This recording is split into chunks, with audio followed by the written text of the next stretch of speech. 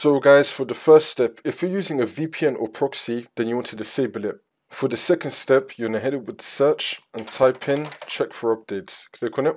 And then once you're on this, you're to click on check for updates. Make sure that your computer is fully up to date. For the next step, you're to head it with search again and type in CMD. Now, you're going to run it as administrator. And then click on yes.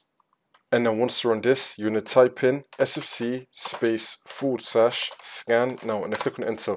Now you want to run this scan. Wait for this to load. I'm going to skip the video to when the scan will be fully completed. And then once that's been done, we're now going to type in dism space forward slash online space forward slash cleanup dash image space forward slash restore health. Click on enter again. You now want to run this scan as well. Wait for this to load. And then once that's been done, we're now going to type in ipconfig space forward slash flush DNS. Click on enter. And now we're going to type in netsh space winsock space reset. Click on enter again.